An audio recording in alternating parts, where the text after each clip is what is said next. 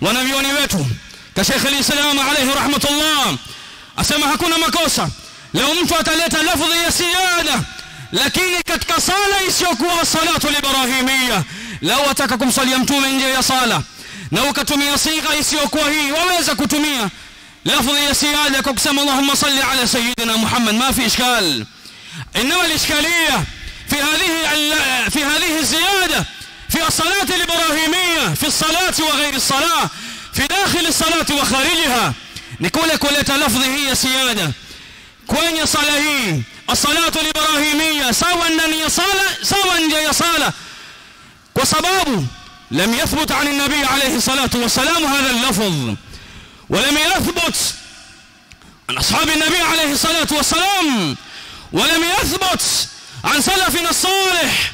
ولم يثبت عن الأئمة المتبوعين بالي الحافظ ابن حجر رحمه الله تعالى أسامة فقهاء المسلمين الأوائل قاطبة. حكو كثريت كتك من نويوه ونقم صلي الجمع عليه الصلاة والسلام وصله الصلاة الإبراهيمية. كزلش نين لسيدنا هيلها لكثريت أحبتي في الله.